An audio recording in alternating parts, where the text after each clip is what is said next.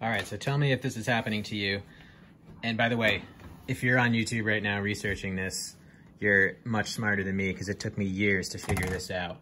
But um, you open your dishwasher after it's all done, right? And the dishes aren't clean.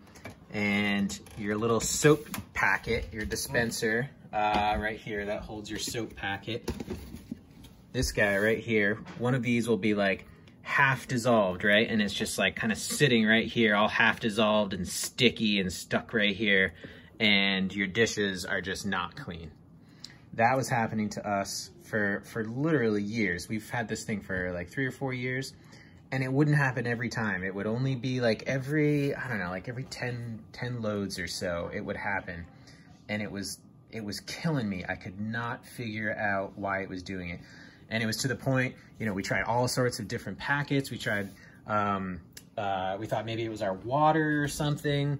Um, we were about ready to get a new dishwasher until I had the biggest duh aha moment. And so hopefully um, this will help you. And by the way, this is, this is the same with any uh, dishwasher that has this style of a door for the detergent that flips open like this. So it's not like it has to be just a Whirlpool or a GE or something. If it does this, you could be having this issue. So here's what happens. You put your soap packet in, right? And you close this down and you close this up. And what was happening to us is that although I couldn't figure it out, was that this was not opening all the way. And so that packet was stuck in there. So what happens if there's a time release, this thing will release so that the packet can come out. But this door was not being allowed to open by, guess what? Something that I had in the dishwasher right there. And that's why it was happening. It was because we would put this cutting board in here every 10 washes or so.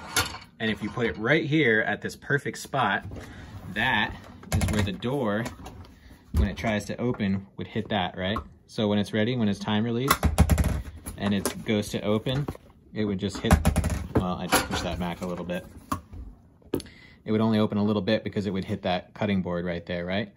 And so then when I went to open the, the dishwasher, it would fly open and I didn't notice because, you know, I'm in a hurry or whatever. So I never noticed that this was closed that whole time and I would see the packet sitting on the, the floor of the thing right there. Uh, and when I finally figured it out. So now, of course, we've never had that problem again. Um, so like I said, you're much smarter than I am because you're doing your research on YouTube here.